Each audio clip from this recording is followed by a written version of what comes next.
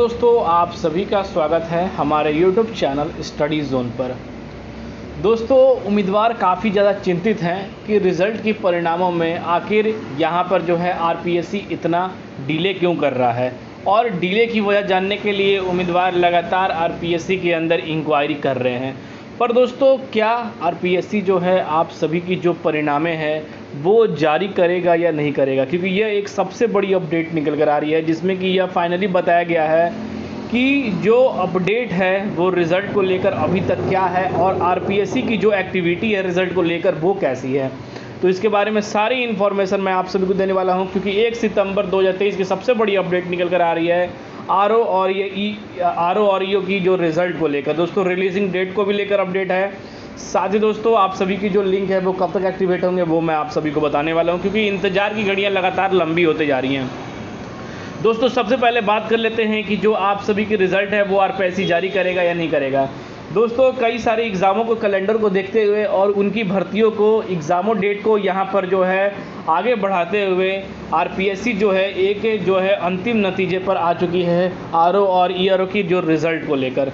कि इसकी जो रिज़ल्ट है वो जारी होगी या नहीं होगी। क्योंकि आप सभी को पता है कि 4 अक्टूबर से राजस्थान के अंदर आचार संहिता लगने वाली है। आचार संहिता लगने के बाद चाहे वो अधनस बोर्ड हो, चाहे वो आरपीएससी हो, चाहे वो जो भी बोर्ड हो, वो सारे बोर्ड जो है, वो आप सभी के परिणामों को लेकर या एग्ज़ामों को लेकर या नए कैलेंडरों को लेकर कोई भी इन्फॉर्मेशन आप सभी के साथ शेयर नहीं करने वाले हैं जब तक आचार संहिता ख़त्म नहीं हो जाती।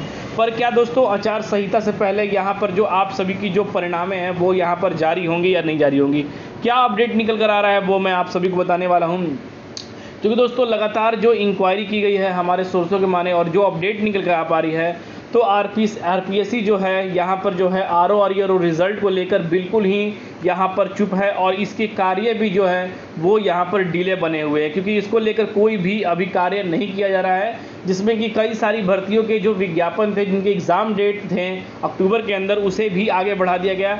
जिसको यहाँ पर देखते हुए यही लग रहा है कि जो आचार संहिता से पहले आप सभी की जो परिणामें हैं, वो आरपीएससी जारी बिल्कुल ही नहीं करने वाला है। आचार संहिता ख़त्म होने के बाद ही आप सभी की जो रिज़ल्ट है, वो यहाँ पर जारी होने की चांसेस बताई जा रही हैं।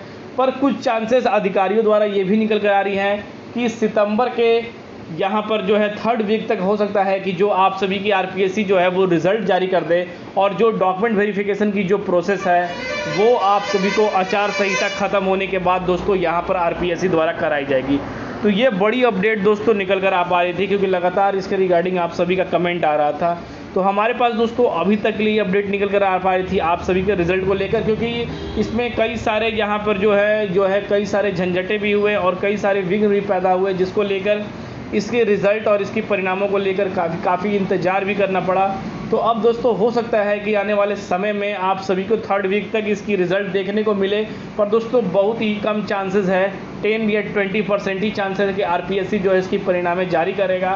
क्योंकि दोस्तों आरपीएससी इन चीज़ों को लेकर बिल्कुल ही खामोश है, तब भी 10 परसेंट चांस अधिकारियों द्वारा कुछ बताया गया है कि हो सकता है कि जारी किया जाए, नहीं तो दोस्तों, आचार संहिता के बाद ही आप सभी की जो परिणामें हैं, वो यहाँ पर जारी की जाएगी और उसके बाद जल्द ही डॉक्यूमेंट वेरिफिकेशन की जो प्रोसेस है, वो भी आर पूरा करेगा।